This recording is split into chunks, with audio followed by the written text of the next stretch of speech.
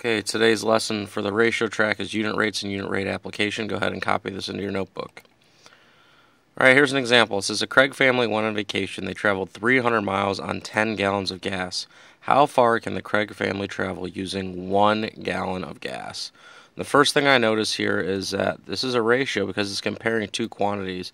It's comparing the number of miles the car can go for how many gallons of gasoline. And we know from the original problem that it can go 300 miles on just 10 gallons of gas. As we keep reading, it says how far can the Craig family travel using one gallon of gas? This is called a unit rate. A unit rate has a denominator of 1.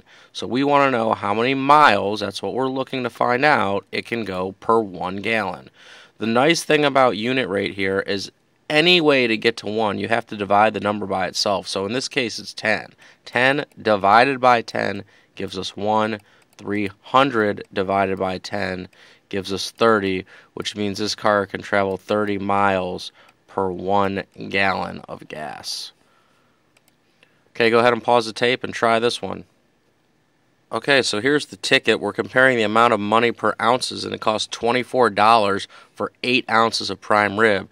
The only other piece of information we have in this problem is that we want to know how much it costs. We don't know how much it costs, which is naturally the amount of money per ounce, per ounce, one ounce. 8 divided by 8 is 1, 24 divided by 8 is 3. So this prime rib costs $3 per ounce. Okay, here are four problems for you to try. Pause the tape, take about four minutes and try them, and when you're finished, unpause. Okay, so the first one, we're comparing hot dogs in minutes. 15 hot dogs in three minutes, and it wants to know how many hot dogs can you eat in one minute. 3 divided by 3 gives us our 1. 15 divided by 3 gives us 5, which means they can eat 5 hot dogs per minute.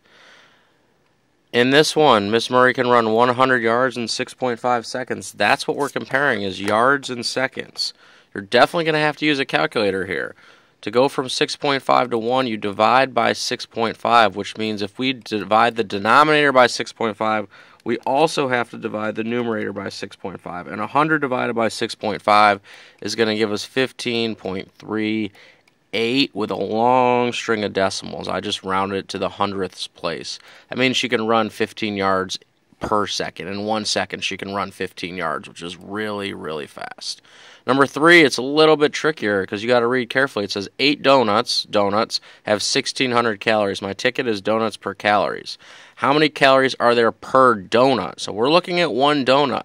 And in this problem, we're keeping track of the donuts in the numerator. 8 divided by 8 gives us 1. 1600 divided by 8 gives us 200, which means there are 200 calories for every donut that you eat. Taking it a little bit further, number 4 says if you ate 10 donuts, how many calories would you have eaten? Well, if you know that one donut has 200 calories, it means another donut would have another 200 calories, and you could keep adding that up 10 times, or 200 calories times 10 donuts. That's a lot of donuts, and that's a lot of calories. 200 times 10 gives us 2,000. So there would be 2,000 calories in 10 donuts. And that's going to lead us into where we're going next, taking it to the next level. So Sally completed 150 jumping jacks in three minutes. So what we're comparing here is jumping jacks to minutes. So let's get the information we know. 150 of them and it took her three minutes to do those jumping jacks. 150 jumping jacks, three minutes. At that same rate, how many would she be able to do in 10 minutes? So this is interesting here because if we set this up, there is no whole number that we can multiply 3 by to give us 10. 3 times 3 is 9, 3 times 4 is 12. So this isn't going to work. We're not going to be able to just go straight there.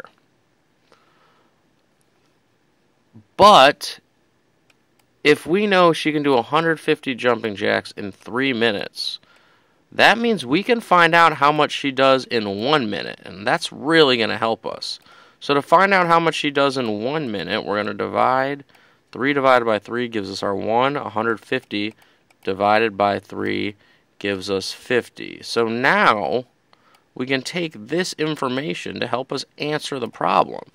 If we know she can do 50 jumping jacks in one minute, to get to 10 minutes, we just take that amount of jumping jacks and multiply it by 10, which gives us 500 jumping jacks in 10 minutes. Another way we can double check this is if we take our original ratio and put this in your calculator 150 ABC3, it spits out 50. It simplifies to 50.